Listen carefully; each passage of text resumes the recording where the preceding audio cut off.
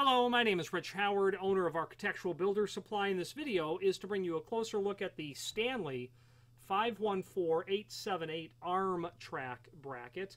This is literally the insert bracket that will go into the arm to close it off on, on one end. Sold as each.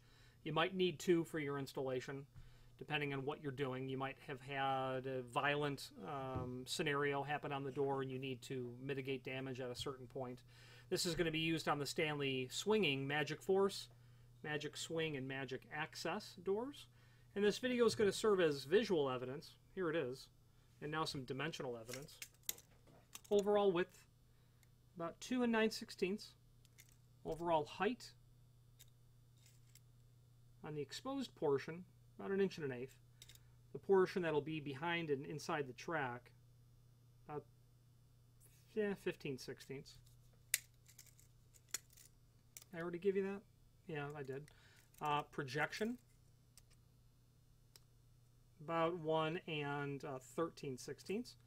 Thickness, about an inch and a sixteenth or so, maybe a little heavy on that. You've got that area for the bolt here, and then down here will allow you to complete the installation. Finally, there's a link below this video to the manufacturer's page where you can pull up not only all of the Stanley Access products that we sell, but also a link to the manufacturer's website, as well as a link to the full product catalog.